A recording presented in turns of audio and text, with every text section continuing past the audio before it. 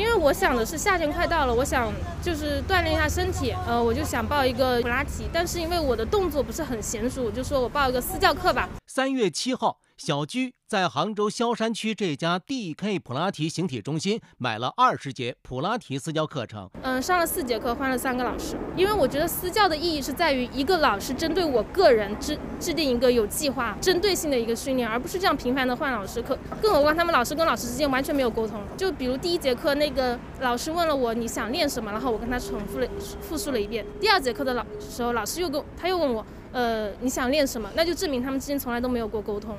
小居说：“频繁更换老师，他得不到一个系统的训练。合同上也写了，他报的类型属于私教一对一课程。于是他提出扣除四节课程的费用后，退还剩余费用。结果，DK 普拉提形体中心方面认为他违约在先，要扣除百分之三十的违约金。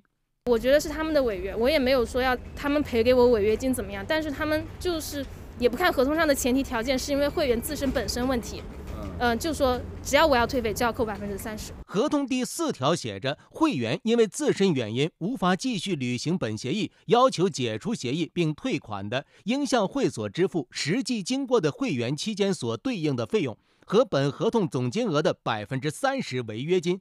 小鞠说，按照这样算下来，要扣掉三千多块钱，他不认可。找到 DK 普拉提形体中心负责人不在，工作人员提供了一位孙经理的电话。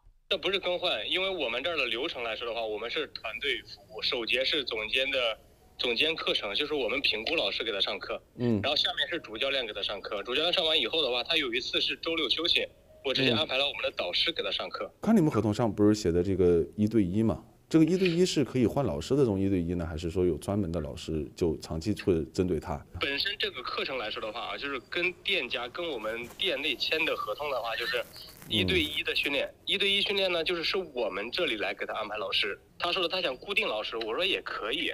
孙经理表示，如果小居还是不放心，他可以在之后的课程中给他安排专门的老师负责教学。但小居不信任对方了，还是想要退费。